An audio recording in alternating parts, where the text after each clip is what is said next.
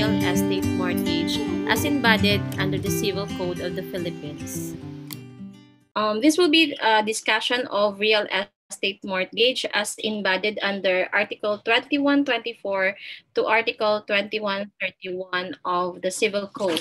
Okay, so real estate mortgage is also is also interrelated with pledge, although um, the provisions of the law are more specific and aside from the um, civil code, there are also special laws that govern the provisions of real estate mortgage. So let's go with our discussion one by one. So what is real estate mortgage? Okay, so it is a contract whereby the debtor secures to the creditor the fulfillment of a principal obligation, specially subjecting to such security immovable property or real rights over immovable property in case the principal obligation is not complied with at the same at the time stipulated. So um, if you analyze the definition of the real estate mortgage, it is somewhat synonymous with pledge, right? Okay, like in pledge, it also secures the fulfillment of a principal obligation. So uh, a thing is being used as a collateral or as a security. But the main difference with this one for real estate mortgage is it is a immovable property. Okay, so such security is an immovable property or real rights over immovable property. Okay, so it will answer just in case or if the principal obligations are not complied at the time stipulated. So please take note of that definition. This is embedded under Article 2124. Although there is no exact um, terms as defined because in 2124, um, the only uh, thing that is mentioned in this provision is the subject matter or the object of the real estate mortgage, which is an immovable property. Okay, so immovables or alienable real rights in accordance with law imposed upon immovables. Nevertheless, movables may also be object of a chattel mortgage. So real mortgage that is immovable property, um, chattel mortgage is on movable properties or personal properties. Okay, so what are the characteristics of a real mortgage? So what are the characteristics? First, it is a real contract. Real meaning to say there should be delivery of the subject matter. Okay, so just like what uh, we discussed with um, the contract of pledge, when we discuss um, pledge as also a real contract, since it is perfected by the delivery of the thing which is being mortgaged or pledged by the debtor, okay? We called the pledger and the creditor. So it's it is perfected by the delivery. Then second characteristics is accessory. When can you say that the contract is accessory?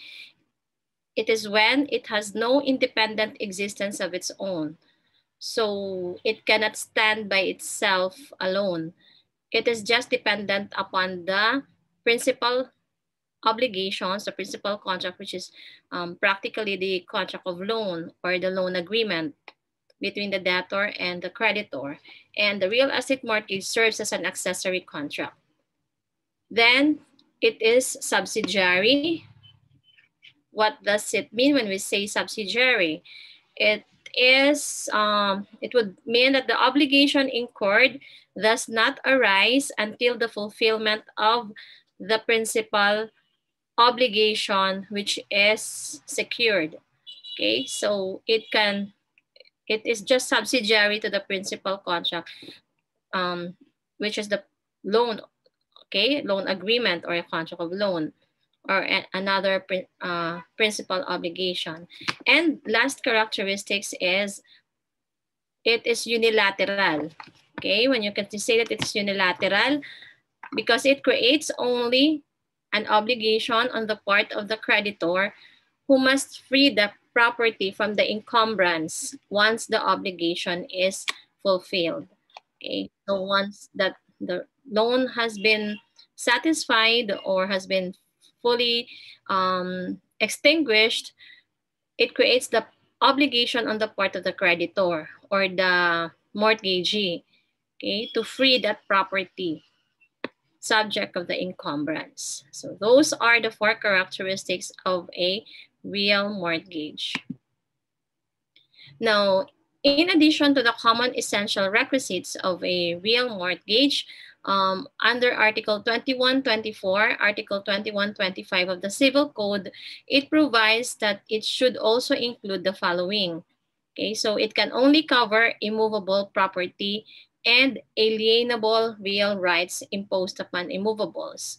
Okay, in the definition, I mean, in, in the provision of the Civil Code on Article 2124, it says here that a the object of a contract of mortgage would include immovables and alienable rights in accordance with law imposed upon immovables.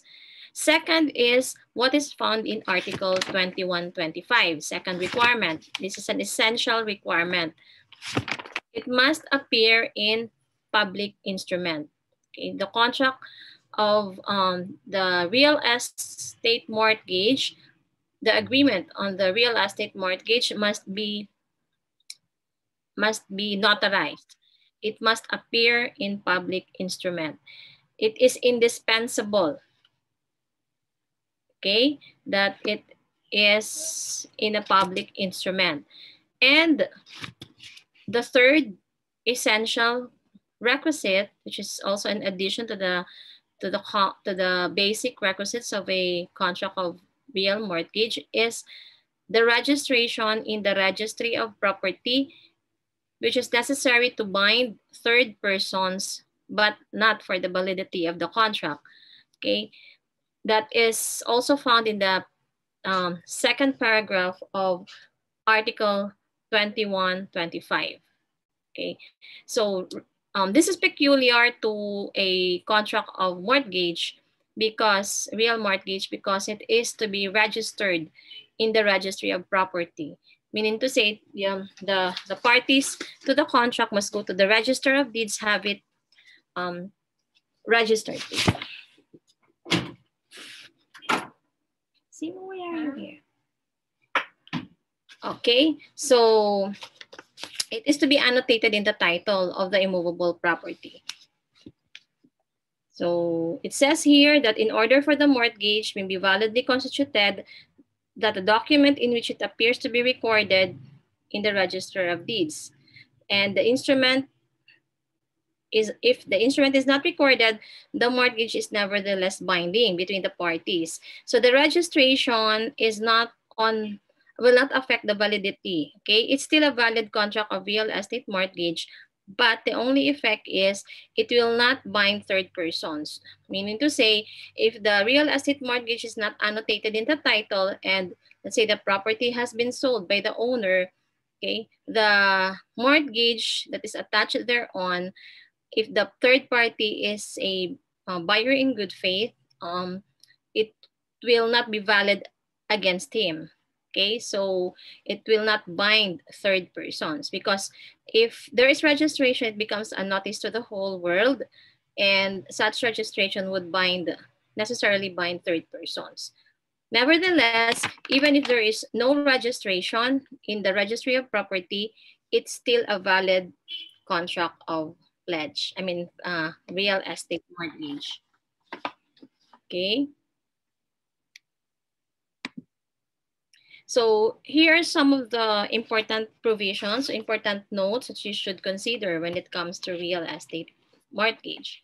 Um, first, as an accessory contract, its consideration is that of the principal contract from which it receives life. Okay, Be being an accessory contract, so it depends upon the existence of the principal contract. If the principal contract is extinguished, necessarily the contract of real mortgage would also be extinguished. And also you should take note that a mortgage does not involve transfer, okay? Does not involve a transfer, cession or conveyance of property, but only constitute a lien thereon. It's only a lien on over that immovable property. So until discharge, it follows the property wherever it goes and subsists notwithstanding changes of ownership.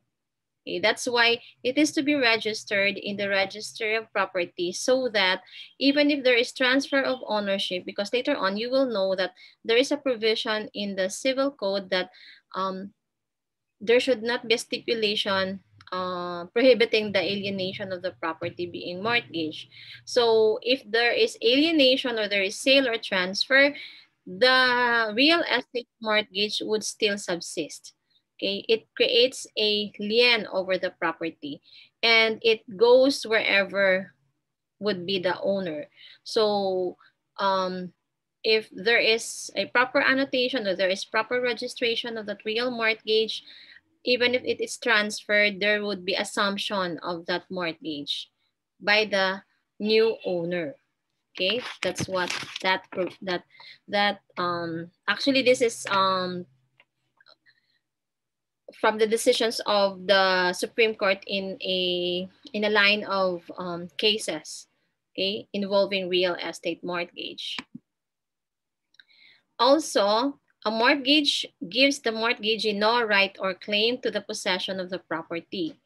And therefore, a mere mortgagee has no right to eject an occupant of the property mortgage unless the mortgage should contain some provision to that effect. Later on, you will know also that in real estate mortgage, the possession is not surrendered, unlike pledge, okay? Unlike pledge, unlike chattel mortgage, no, no chattel mortgage, unlike pledge. If um, in pledge, there is transfer of possession, di ba? Although there is delivery, delivery should be, uh, would either be constructive, di ba? So there is that um, you, you, you get the copy of the title to be to be um, under the custody of the mortgagee. But the mortgagee cannot claim possession over the property. It would still be the mortgager who will um, occupy the property. Or if there are other um, occupants who are entitled, legally entitled thereto, the mortgagee cannot expect to eject that um, property, okay? I mean, that, that occupant on the property. The only right of the mortgagee in case of non-payment of a debt secured by the mortgage would be to foreclose the mortgage okay, and have the encumbered property sold to satisfy the outstanding indebtedness. Now, if possession is transferred to the mortgagee, it must not expressly be for purpose of applying the fruits to the interest or then to the principal of the credit, for then it would be an antichresis because antichresis is also another form of a credit transaction. It's a different kind of contract. And you will learn that later on um, in another topic. Okay. All right. Sorry. Now, another important thing to consider um, on real mortgage is it is not essential requisite that the principal of the mortgage credit bears interest. So it doesn't matter. It's not an essential requisite. And that the interest as compensation for the use of the principal and enjoyment of the fruits be in the form of a certain percent thereof. Okay.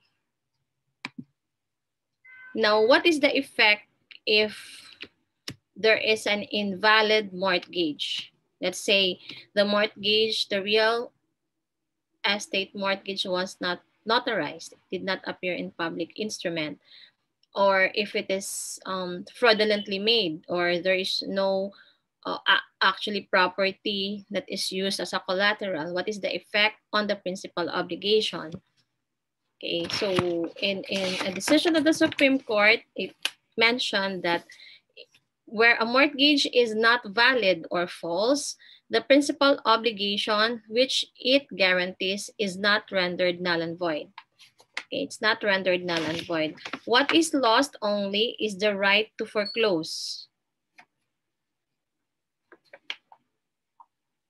The, the mortgage as a special remedy for satisfying or settling the indebtedness which is the principal obligation. But the mortgage deed remains as evidence or proof of a personal obligation of the debtor and the amount due to the creditor may be enforced in an ordinary personal action. Okay, so it will not affect the principal obligation. It will not render the principal obligation null and void, even if the real mortgage is uh, false or it is not valid or um, it was fraudulently made or it, it is not notarized, it did not comply with the necessary requisites for its validity. So in that particular case, um, the, the creditor mortgagee no longer has the right to foreclose the mortgage kasi wala ang valid mortgage. So if the debtor would fail to comply with this obligation to pay, it would be specific performance personal action, okay? Specific performance and not foreclosure of the mortgage. Okay? Now, what are the kinds of mortgage? So, we have here voluntary real estate mortgage, legal real estate mortgage, and the third one is what you called equitable mortgage. So um, when can you say that it is voluntary? It is voluntary if it is agreed upon by the parties or constituted by the will of the owner of the property on which it is created. Okay, so mutual agreement of the party that's voluntary um, mortgage. Second is the legal mortgage or one which is required by law to be executed in favor of certain persons. And the persons in whose favor the law establishes a mortgage have no other right than to demand the execution and the recording of the document in which the mortgage is formalized. Okay, that's actually Article 2125, Paragraph 2 of the Civil Code. Okay, so legal mortgage, it is created by law. And um, the only thing that is um, to be demanded from there is the execution and recording of that document. Okay. Now, the third one is the equitable mortgage. Maybe this is not new to you if you have studied your uh, contract of sales. It is a contract or it is a, actually it's a mortgage, but um, it is a contract that, for instance, it's a uh, sale with the right to repurchase a deed of sale with the right to repurchase. And the consideration or the selling price is um, very low. And there is that provision there that um, after, let's say, two years, um, the property will be repurchased by the seller, okay, um, at a certain amount, okay, let's say plus interest on the uh, that selling price. So it lacks the formalities of a mortgage, right? Kasi what was um, uh, executed was a deed of sale with a right to repurchase or pacto de retro sale. Okay, so it is one which lacks, although lacking the formalities of mortgage, but the true intentions of the parties is to make the property as a security of a debt. So that amount that has been uh, used as a selling price which is considerably low, usually it's shocking to the consumer. Let's say if you have a 5 million worth of property, it was just sold for 500,000 with the right to repurchase within two years with an interest of 10% per annum. So the intention of the parties is to make just the property as a security of the debt for that amount of 500,000 and that the seller there will reacquire the property Okay, repurchase that property. So parang binayaran lang niya yung kanyang utang. Okay, and the property will also be released. Okay, so there is no registration yet because there's right to repurchase and um, practically under the civil code, it is to be considered as an equitable mortgage. All right, now how do we distinguish pledge from mortgage? So I think you already have an idea on, on the first um, two distinction of a pledge and mortgage. So first, pledge is constituted on movables. So on movables, on personal properties. Whereas real mortgage is constituted on immovables or real properties. Now in pledge, the property is delivered to the pledgee or by common consent to a third person. It's the pledgee or to a third person. So it's very indispensable that the property should be delivered. Okay. Second, the delivery in, in the in real estate mortgage, on the other hand, the sec the delivery is not necessary. Okay. Delivery is not necessary. Meaning to say there is no physical transfer of possession but there is delivery kasi nga real contract. Um, what is mentioned here is there's no physical delivery of the property. Um, physical possession by the mortgagor. Okay, so the mortgagor would still be in possession of the property. Whereas in pledge, there is transfer of possession. All right, and the third um, distinction is um, not valid against third person unless a description of the property pledge and the date of the pledge appear in public instrument. Okay, so that's pledge. Whereas in real mortgage, um, it is not valid against third person unless registered. Okay, so binding upon the parties, even if it is not notarized or registered, but it will not bind the whole world. Okay, it will not bind third persons should there be issues on, let's say, there is sale of a um, third person, this is buyer in good faith. Okay, so those are the three dis distinction of pledge as compared to real mortgage. Now, Article 2027. Let's go to Article 2027. Um, Article 2027 speaks on the extent of the mortgage. So what does the law um, stipulate? So absent express stipulation to the contrary, the mortgage includes accessions, improvements, growing fruits, and income of the property not yet received. Okay, so when the obligation becomes due and to the amount of indemnity granted or owing to the proprietor from the insurers of the property mortgage or in virtue of the expropriation for public use. So this includes not only the property itself. Okay, so the real mortgage constituted on the immovable is not limited to the property itself, but it also extends to its accessions. Okay, let's say it's a house and lot, of course, and there is a let's say there's a pool or there is fence over it, improvements and and um, other uh, accessions to the property or even growing fruits or income of the property, even if it is not yet received, will also be part of the of of the coverage of that real mortgage. Okay, so the law is predicated on the assumption that the ownership of such accessions and accessories and improvements subsequently introduced also belongs to the mortgagor is the owner of the principal. Okay? So, it includes all other accessions, ano, kasama pa rin siya. That's Article 2127 of the Civil Code. Now, there is a provision, there was once asked in the bar exam just recent, siguro mga 2015 or 20, ano, not, not so recent because already 2021, about a dragnet clause. Okay, so um, the question is, what is dragnet clause? So simple as that one. If you haven't heard about it or you haven't gone over that, that term, you'll have a difficulty on answering kung ganun lang ka-simple.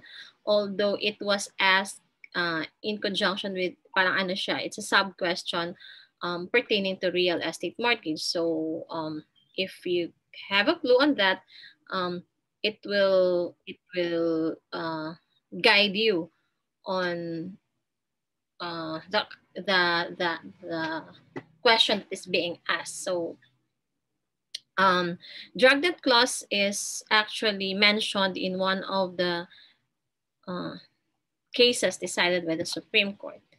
You know, So as a general rule, an action to foreclose a mortgage must be limited to the amount mentioned in the mortgage. But the amounts named as consideration in a contract of mortgage do not limit the amount for which the mortgage may stand as a security if from the corners of the instrument the intent to secure future loans or advancement and other indebtedness can be gathered. Okay, so drug that means to say the drug siya. It, it is to be, uh, it is a clause in the real estate mortgage um, stipulating that uh, it will it will subsume all other debts. Okay, it will secure future loans or advancement. Okay, dragnet clause. So sometimes it is called blanket, blanket clause. Okay, blanket clause or dragnet clause in American jurisprudence, it was mentioned in dragnet clause. So it's one which is specifically phrased to subsume all debts of past or future origin. So such clauses are carefully scrutinized and strictly construed. So particularly where the mortgage contract is one of adhesion. That is, it was prepared solely by the mortgagee and the only participation of the mortgager was affixing his signature on the adhesion thereto. So um, in the case of Philippine Bank versus CA, okay, it was ruled out that a mortgage must sufficiently describe the debt sought to be secured and the obligation is not secured by the mortgage unless it comes fairly with the terms of the mortgage. Now, question, is that clause a valid stipulation? Is it a valid stipulation? Um, it depends upon the uh, terms and conditions of the parties. Okay, so there is no specific prohibition on a inclusion of a dragnet clause in a real mortgage. Okay, so what is a dragnet clause? Again, it's a stipulation that a mortgage is not limited to just to just the fixed amount, but also covers other credit accommodations in excess thereof. So like if you have a property, um, let's say it's worth 100 million and you use that as a real estate mortgage to secure a loan of, let's say, a 20 million. Okay, so um, the amount is so, the amount of the value of the property is so high. So if ever you have succeeding, um, succeeding uh, uh, loans with the same creditor, then it you can you can use the same there is a provision in the real estate mortgage that the that same property should um should subsume the other uh, uh, loans of that creditor.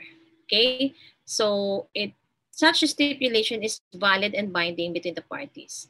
Okay, so although there are cases decided by the Supreme Court that if it is only the mortgagee who solely prepared the the contract of real mortgage and there is that uh, uh, principle of adhesion, yung the, the, the mortgager just signed simply and it is caught in unaware of that provision, then it is um, considered, if there's ambiguity on that one or there is uh, unjust ano, enrichment with, the, with that mortgagee, then um, it's not a valid stipulation.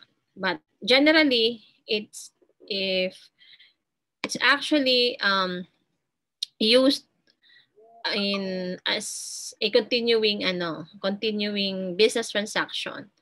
Okay? So in the uh, in order to aid a continuous dealing okay there is that drug dragnet clause that is being uh, included in a real mortgage so a mortgage given to secure future advancements enables the parties to provide continuous dealing, the nature or extent of which may not be known or anticipated at the time and they avoid the expense and inconvenience of executing a new security on each new transaction. Okay, so a dragnet clause operates as a convenience and accommodation to the borrowers as, as it makes available additional funds. Okay, so two-way siya. It, it, it is to be for the benefit of the debtor, mortgagor, and also for the creditor. Okay? So if you'll be asked on this question, what is dragnet clause? You just mention those uh, provisions that I uh, discussed to you. Sometimes it's called blanket clause. Ha?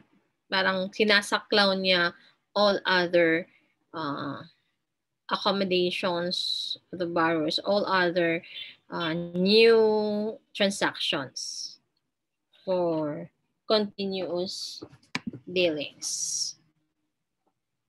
All right, then let's go to Article 2128. Article 2128 of the Civil Code provides for the provision or alienation or assignment of mortgage credit. Okay, the mortgage credit may be alienated or assigned to a third person or in whole or in part with the formalities required by law. Okay, so there is assignment of mortgage credit. It could be assigned to third persons. So a mortgage credit or the right of the mortgagee is a real right and directly and immediately subjects the mortgage property to the fulfillment of the principal obligation. So the alienation or assignment is valid even if it is not registered. Okay, so registration is necessary only to affect third persons. All right, so let's go to Article 2130, 2129 and 2130. Um, this, these two provision, these two succeeding provision pertains to the special rights of the mortgagor and the special rights of a mortgagee. Okay, so what are the special, what, what, what is that special right as stipulated in Article 2130? So in 2130, the mort, it's the right of the mortgagor um, wherein uh, he has the right to alienate the mortgage property but the mortgage shall remain attached to the property. Because in 2130, it is, it is um, stated here that the stipulation forbidding the owner from alienating the immovable mortgage shall be void. Okay, since there is no transfer of ownership, the rationale here, the owner is still, I mean, the, the mortgagor is still the owner of the property and he has the free disposal of that property.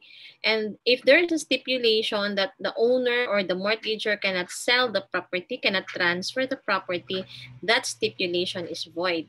Okay, it is contrary to public policy in as much as transmission of property should not be unduly impeded. Okay, that's Article 2130. Okay, so therefore, the mortgagor has that special right to alienate the property. So what will be the effect if the, the property is alienated or transferred? The mortgage would still subsist. It will remain attached to the property.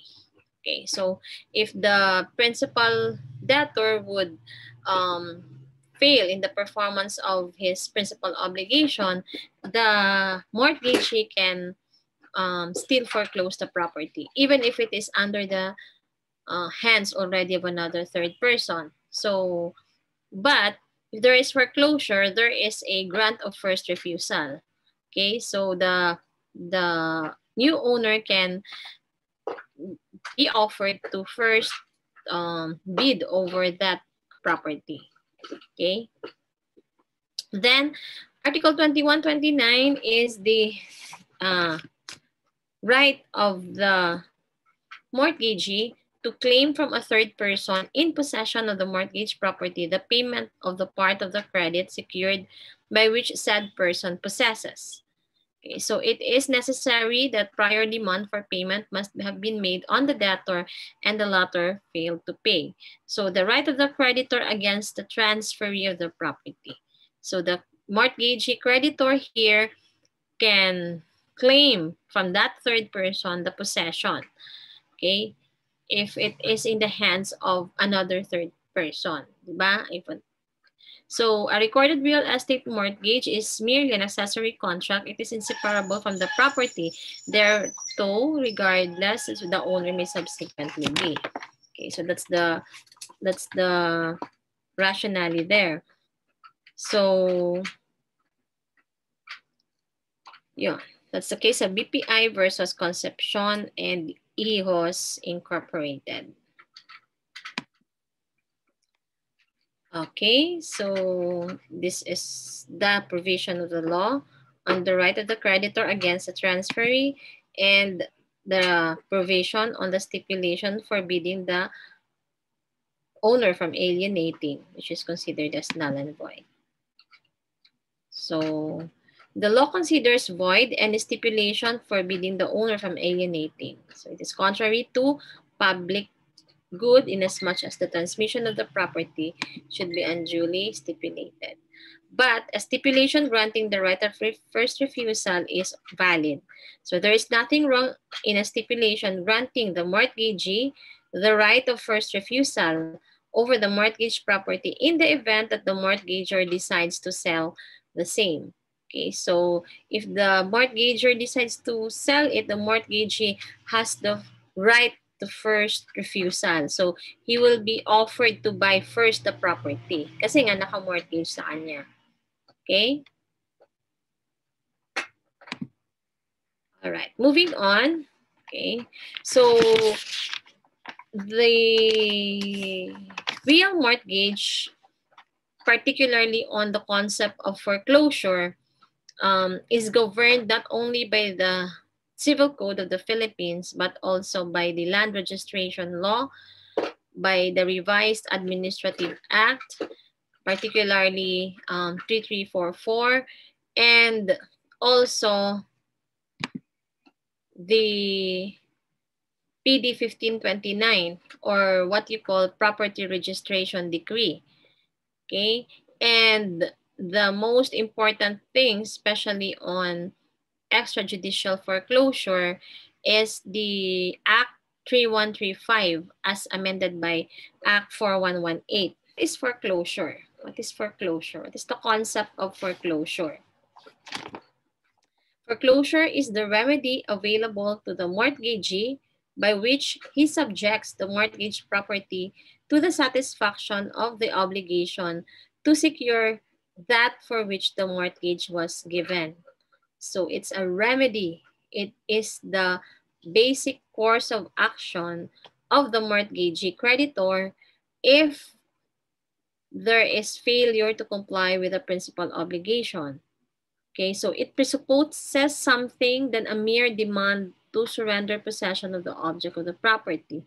Okay, so foreclosure is but a necessary consequence of a non-payment. Okay, um, as a rule, the mortgage can be foreclosed only when the debt remains unpaid at the time it is due. Okay, so there should be those um, provisions in the case of BPI versus Court of Appeals. It was ruled out by the Supreme Court that the unpaid that the debt should be, should be unpaid at the time it is due before the mortgagee or creditor can avail of this remedy of foreclosure. Okay, so other decisions of the Supreme Court, um, foreclosure denotes the procedure adopted by the mortgagee to terminate the rights of the mortgagor on the property and includes the sale itself in DBP versus Zaragoza. So the mortgagee terminates the right of the mortgagor. Kumbaga, since the mortgager failed to comply with this obligation, the mortgagee has to um, proceed with either judicial foreclosure or extrajudicial foreclosure depending upon the agreement of the parties.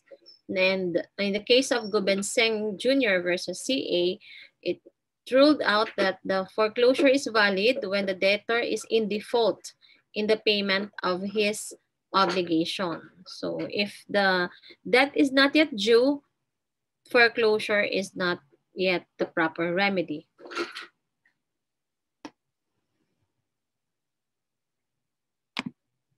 What are the kinds of foreclosure? What are the kinds of foreclosure? Um, as mentioned, you have your judicial foreclosure.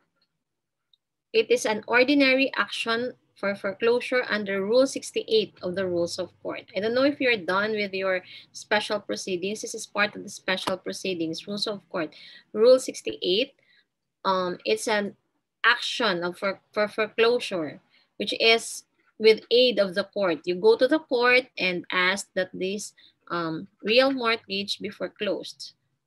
Later on, we will go over the details of how a mortgagee or a creditor um, uh, apply the provisions of the rules of court and the procedures to be followed. Second kind of foreclosure is the extrajudicial foreclosure out of court.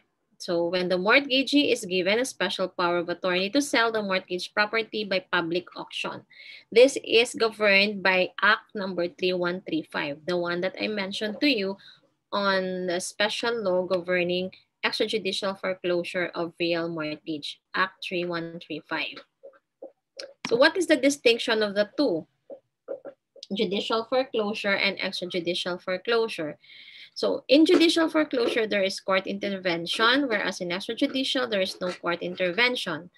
Judicial foreclosure, the decisions are appealable. And in extrajudicial, it is not appealable because it is immediately executory. Now, in judicial, the orders of the court cuts off all rights of the parties impleaded, whereas in extrajudicial, the foreclosure does not cut off all rights parties involved. Now, other distinction is in judicial foreclosure, there is equity of redemption. Okay, equity, you call it equity of redemption if it is done through judicial foreclosure. If it is done through extrajudicial, the redemption uh, is what you call right of redemption. Later on, we will distinguish the two. Right of redemption, what is the period within which to redeem, and so on and so forth.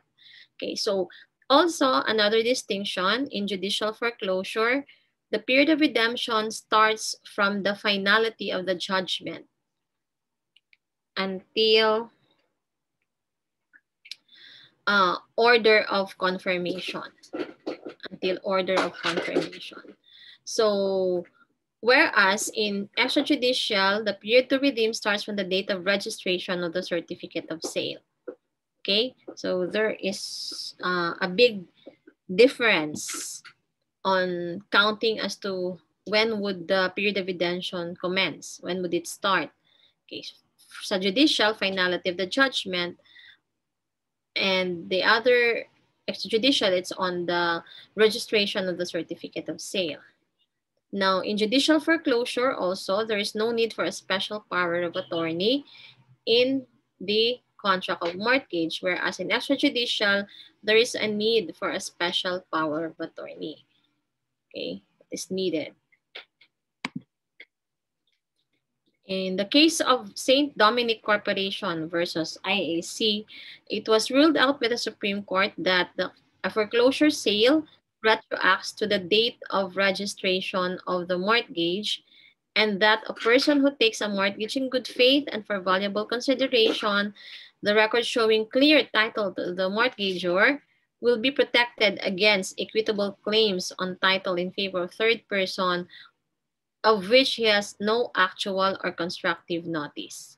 Okay, so it retroacts to the date of registration of the mortgage. Saying that that's why it becomes a notice to the whole world. So if there's a clear title of the mortgagor, um, such right of that person who takes the mortgage in good faith will be protected against equitable claims on the title of in favor of a third person. Okay, so as long as the mortgage is properly done, once there is a proper also proper procedure of the foreclosure, that um, mortgagor, that person who takes the mortgage in good faith and for valuable consideration will be upheld. The right of that person will be upheld. Now, take note also that um, where there is a right to redeem, inadequacy of the price is not material. Okay, right to redeem. Okay, on the extrajudicial foreclosure. Because the judgment debtor may reacquire the property or else sell his right to redeem and thus recover any loss he claims to have suffered by reason of the price obtained at the auction sale and consequently not sufficient to set aside the sale. So it doesn't mean if the the bid price is is in is low or so there's inadequacy of the price okay it's still a valid say uh, public auction public sale so the mere inadequacy of the price obtained at the sheriff's sale will not be sufficient to set aside the sale unless the price is so inadequate as to shock the conscience of the court okay, taking into consideration the peculiar circumstances attendant thereto. So in this case of Sulit versus CA, um, it was um, added by the Supreme Court that if in case the price is so inadequate as to shock the conscience of the court, then that um, sheriff's sale, okay, so sheriff's public auction shall be set aside.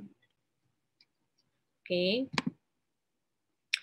Now, another thing to consider, like in, should there remain a balance due to the mortgagee after applying the process of the sale, the mortgagee is entitled to recover the deficiency. Okay? If it, even this this this rule, but we have um, discussed in in pledge that deficiency cannot be recovered. If there is excess, it will be um, the pledgee, I mean, yeah, the pledgee will be entitled to the excess. But if there is deficiency, he cannot recover to the from that of the pledger. Um, but in real estate mortgage, um, the mortgagee is entitled to recover the, the deficiency if the balance of the loan is not sufficiently covered by the proceeds of the sale. Okay, so this rule applies both to judicial and extrajudicial real estate mortgage.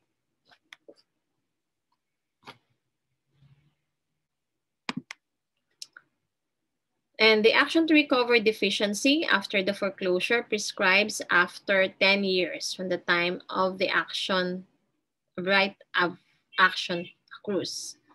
So there is a um, prescriptive period within which to file the deficiency. So that's 10 years from the foreclosure sale. Okay. So validity and effect of foreclosure. So foreclosure is but a necessary consequence of non-payment of a mortgage indebtedness.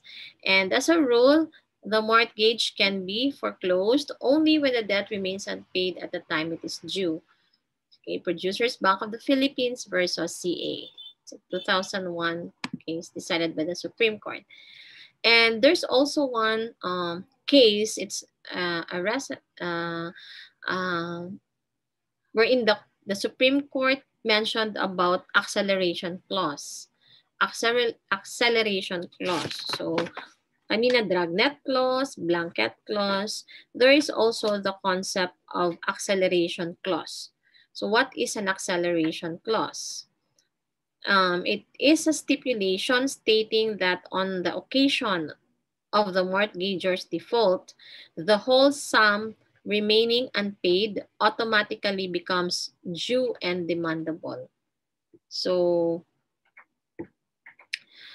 the failure of the mortgagor to pay any installment will trigger the activation of this acceleration clause. So why is it called acceleration? It's because it it will make the entire debt become due and demandable. If there is uh, uh, default on the part of the mortgager. For instance, the loan of, let's say, 10 million to be paid on a monthly uh, monthly installment, let's say, of uh, 100,000. Now, for a period of two years. Sabihin na natin ganun. Now, if it will not, if the mortgagor, debtor will not pay, let's say, three monthly amortization, the entire debt will become due and demandable. Meaning to say, it will be subject to surcharges, interest, and penalties, the entire debt. It's called acceleration clause. Okay, so the failure of the mortgager to pay any installment will trigger the activation of the acceleration clause and gives the mortgagee the right to foreclose the mortgage against the contention of prematurity. Kasi di ba, we mentioned that there is no cause of action of foreclosure if the debt um, is not yet due and demandable. Okay? So, but if ever there is that acceleration clause, that debt will entirely become due and demandable if there is a provision and it was agreed upon by the mortgager and the mortgagee on the non-payment of certain installment or amortization. Okay, so that's the case of Luzon Development Bank versus Conquilla. Okay. So those are matters, uh, concepts pertaining to foreclosure. Okay. Um, there's also a another um, case, which is the BPI case versus Yulo on the use of the word upset price or tipo. Please take note also of this concept. Tipo or upset price. What is this stipulation? It is a stipulation in a mortgage of real property of minimum price at which the property shall be sold to become operative in the event of a foreclosure sale at public auction. It is null and void for the property because the property should be sold to the highest bidder. So um, it is a set price, kumbaga, minimum price at which the property shall be, shall be sold. So it is a null and void. It's not a valid stipulation. The upset or tipo price is not a valid stipulation. So parties cannot by agreement contravene the law and interfere with the lawful procedure of the courts. Because what is the concept of a foreclosure? If there is a public auction, it must be sold to the highest bidder. So walang minimum price. Let's say the highest bidder, let's say the the they, they set it to be sold at 10 million. Loan is 10 million. And then yung highest bidder mo lang is 3 million, 2 million. How that gonna be failure of ano, failure of bid. But in that particular case, that upset price or tipo is a null and void stipulation. It's not a valid stipulation. Okay, as decided by the Supreme Court in the case of BPI versus YOLO. Now, let's go to the specific procedures of judicial foreclosure under the rules of court. So again, this is governed by Rule 68 of the Rules of Court. So what is a judicial foreclosure? Judicial foreclosure, it's a judicial action wherein the mortgage is foreclosed judicially by bringing an action for that purpose. So the action is for judicial foreclosure in the proper court which has jurisdiction over the area wherein the real property involved or the portion thereof is situated. So the venue is where the property, the mortgage property is situated. Okay. So proper court which has jurisdiction. Okay. Uh, it's actually the regional trial court having jurisdiction over the uh, place where the property is situated. Now, if the court finds the complaint to be well-founded, it shall order the mortgagor to pay the amount due upon the mortgage debt or obligation with interest and other charges within a period of not less than 90 days or more than 120 days from the entry of judgment. Okay, so once the once the mortgagor was not able to pay, um, there will be a sale to the highest bidder at public auction. Okay, if the mortgagor fails to pay at the time directed in the order of the court. Okay, so the, the court, upon motion okay, by the other party, which is the mortgagee, shall order the property to be sold to the highest bidder at public auction. Then there is the confirmation of sale. So what is a confirmation of sale? The sale shall be confirmed um, by the order of the court, also upon motion, okay, shall operate to divest the rights of all the properties to the action and to vest their rights in the purchaser, subject to such right of redemption as may be allowed by law. So if there is already termination of the public auction and it was already awarded to a purchaser, okay, the highest bidder of the property, then it will be confirmed. The sale shall be confirmed by the court. There, should, there is confirmation of sale. Okay, before the confirmation of a judicial foreclosure sale, the court retains control of the proceedings by exercising a sound discretion in regard to it. So either granting or withholding confirmation of rights and interest to the parties and the ends of justice may require. So from this standpoint, any order which neither set aside or confirms the, the foreclosure is merely interlocutory. Okay, Okay, so then there, the next procedure is the execution of sheriff's certificate. Okay, so the foreclosure is not complete until there is a sheriff certificate. Okay, the sheriff certificate that will be executed, acknowledged, and recorded.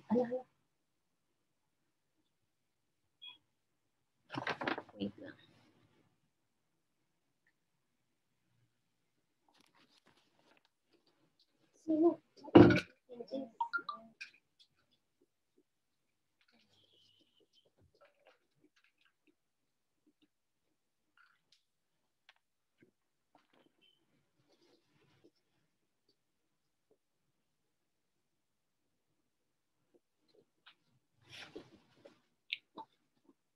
in the absence of a certificate of sale, no title passes to by the foreclosure proceedings to the vendee.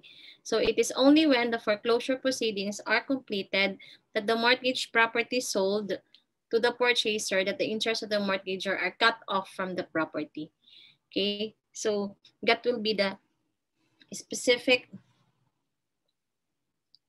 uh, provisions of the rules of court okay, on judicial judicial foreclosure. That is the execution of the sheriff's certificate. And that sheriff's certificate shall be acknowledged and recorded. Okay. Meaning to say, ano din siya, it will be recorded in the in the uh, registry of property before the register of deeds. And if there is no certificate of sale, no title shall pass, shall be passed on. Okay, no title passes by the foreclosure proceedings to the vendee.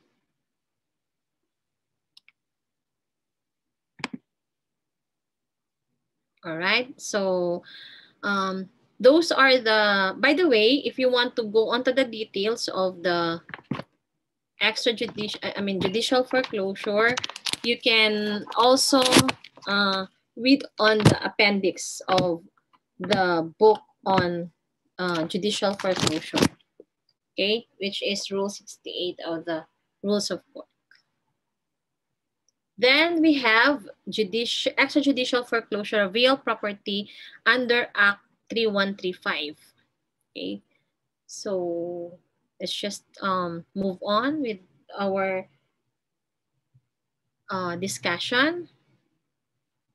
Um, this Act 3135 is the law which covers on, which covers only real estate mortgage. So it is intended to regulate the extrajudicial sale of property if and when the mortgagee is given a special power of express authority to do so in the deed itself or in a document annexed thereto. Okay, so there is that special power of attorney to to um to enter into extrajudicial foreclosure. Okay, so from the time there is the execution of the real estate mortgage there is that another document, which is a special power of attorney for the mortgagee to proceed to extra for extrajudicial foreclosure.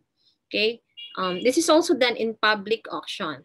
Okay, so this is usually done by uh, banks, by uh, let's say the the the pag-ibig, HD, di ba? Pag-ibig, uh, who extends housing loans, okay, the real estate mortgage over the property, which is subject to the loan of, with the pag-ibig, um, aside from the uh, mortgage agreement or mortgage contract, there is that special power of attorney, okay, that is to be signed by the mortgagor and the mortgagee in favor of the mortgagee. Now, in, in the same law, it is um, also ruled out, especially when the Supreme Court um, rendered its decision in the case of Perez versus PNB, that the authority to sell is not extinguished by the death of the mortgagor or the mortgagee as is it as it is essential and inseparable part of the bilateral agreement. Okay, the authority to sell, the authority to to um, engage in the foreclosure sale. Okay, it's not extinguished by the death of either the mortgagor and the mortgagee, so it will subsist. It will bind the heirs and the assigns of that um, mortgagor or mortgagee as the case may be. Okay, and no sale can be legally made outside the province in which the sale, the property sold is situated.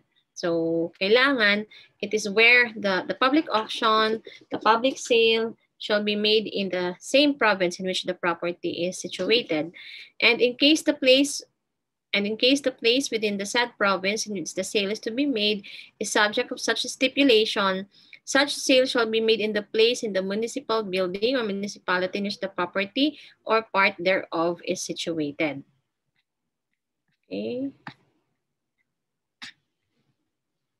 Uh, this will be the last part of our of our discussion this afternoon on the procedures of uh, extrajudicial foreclosure under Act 3135.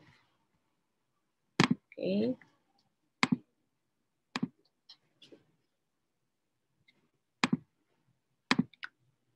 So first is um, the filing of the application before an executive judge through a clerk of court. Okay. And then the clerk of court will examine whether the requirement of the law has been complied with. That is, whether the notice of sale has been posted for not less than 20 days in at least three public places in the municipality or city where the property is situated. Okay. Um, and then the certificate of sale must be approved by the executive judge.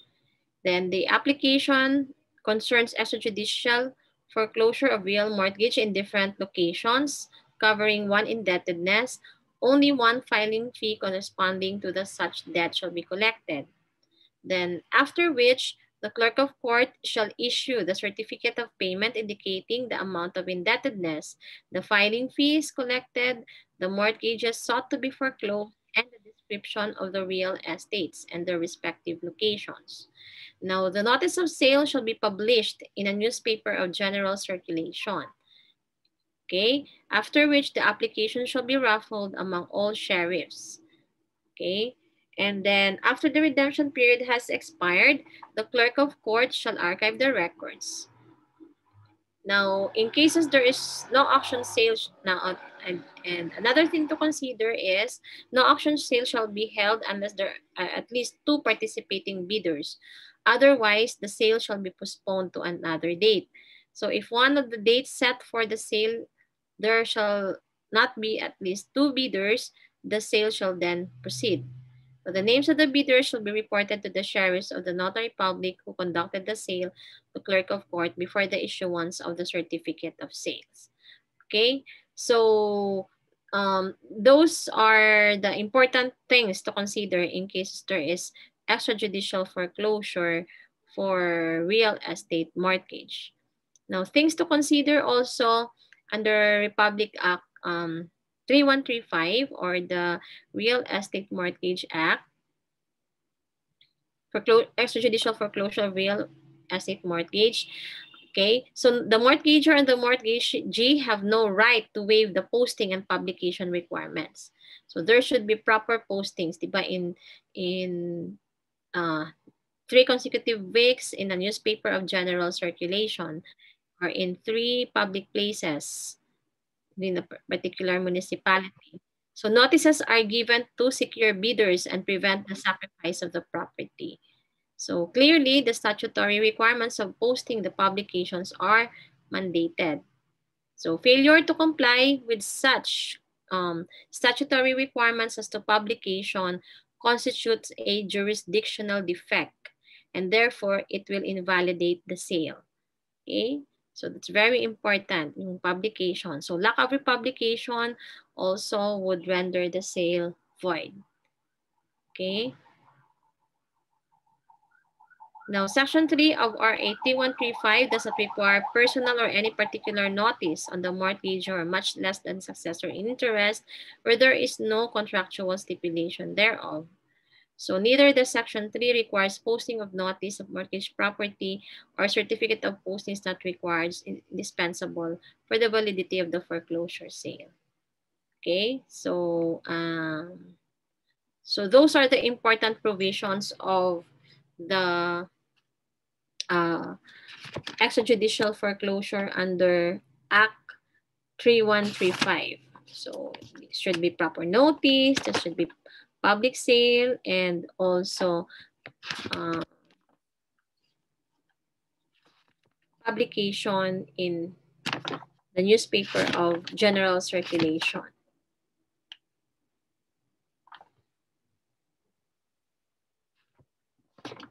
Then the concept of redemption. So let's go to the concept of redemption. So redemption is the transaction by which the mortgagor reacquires or buys back the property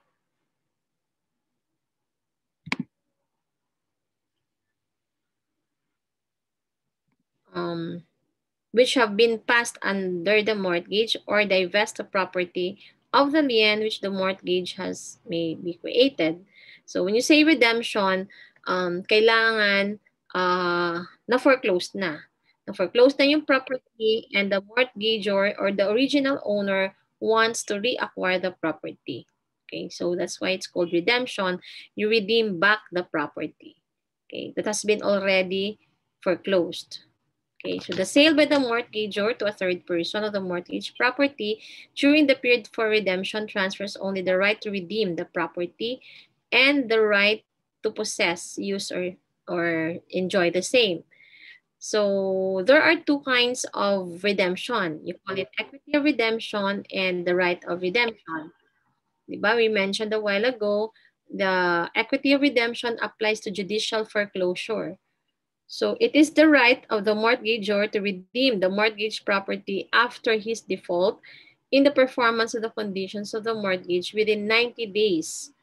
So there is that specific period, 90 days from the date of service of the order of foreclosure or even thereafter but before the confirmation of sale.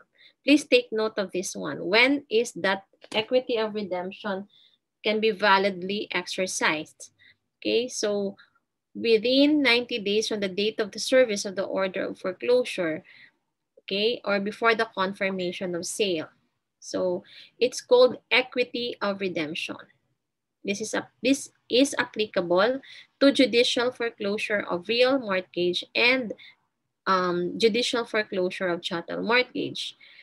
Okay, but in banks, institu banking institutions, even if it is judicial foreclosure, the equity redemption is uh, one year from the confirmation of sale. From the confirmation of sale. On the other hand, if it would be through a judicial, extrajudicial foreclosure of real mortgage, the proper remedy is the right of redemption. Okay, so the right of the mortgagor to redeem the mortgage property within one year. So take note of the reckoning date. From what date? From what date? From the date of registration of the certificate of sale. Magkaiba yan, di ba? Magkaiba. So dito, um, from the confirmation of sale. Dito naman, sa extrajudicial foreclosure, one year from the date of registration of the certificate of sale. Okay, but if it is uh, individual, not a banking institution, if it's equity redemption, it is only 90 days. 90 days from the date of service of the order of foreclosure. The right of redemption, as long as within the period prescribed, may be exercised, irrespective of whether or not the mortgagee has subsequently conveyed the property to some other persons.